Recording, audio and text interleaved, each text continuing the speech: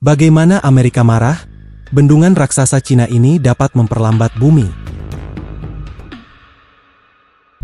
Hidup di dunia modern seperti sekarang, ketergantungan kita pada sumber daya listrik memang tidak terelakkan. Untuk Indonesia sendiri, kebutuhan akan penggunaan listrik negara kita lumayan besar. Dari data tahun 2021, produksi listrik yang dihasilkan Indonesia dalam setahunnya sudah mencapai 73,74 GW. Namun, siapa sangka jumlah yang sebesar ini ternyata tidak ada apa-apanya bagi Cina. Kapasitas penghasil listrik negeri tirai bambu ini sudah menembus 2200 GW dalam setahun. Bahkan angka ini bakalan bertambah seiring banyaknya perencanaan pembuatan bendungan untuk pembangkit listrik tenaga air. Bendungan ini dikenal dengan nama Bendungan Baihetan dan bakal menjadi salah satu bendungan penghasil listrik terbesar di dunia. Sebagai bendungan terbesar di dunia, Bendungan Baihetan ini sudah lama direncanakan oleh pemerintah Cina. Pada Kongres ke-18 pemerintahan Cina di tahun 2012, proyek dari bendungan ini diumumkan. Tidak tanggung-tanggung, dana yang digelontorkan mencapai 34 miliar as dolar atau 530,9 triliun rupiah untuk pembangunannya. Ide utama dari pembangunan bendungan ini jelas untuk mewujudkan mimpi besar Cina, yaitu untuk memaksimalkan potensi alam di sana. Pembangunan bendungan ini dilaksanakan di Sungai Jinsa, Provinsi Yuan. Pemilihan tempat ini jelas karena strategis, total panjang sungai yang mencapai 2.290 km membuat sungai ini memiliki debit air yang cukup untuk memenuhi kapasitas bendungan Baihetan. Apalagi, kapasitas dan spesifikasi bendungan ini memang fenomenal. Panjangnya mencapai 72 m dengan tinggi mencapai 289 m. Setidaknya 275 m dari tinggi bendungan akan terisi air secara penuh.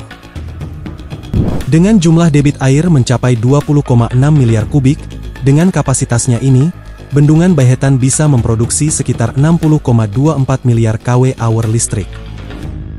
Untuk membangun bendungan Baihetan yang megah, langkah pertama adalah melakukan penggalian yang rumit.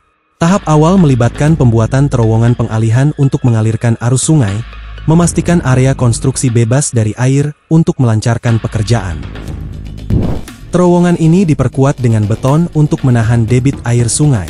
Setelah penggalian, pembangunan bendungan dilanjutkan dengan pemasangan pondasi dan struktur utama.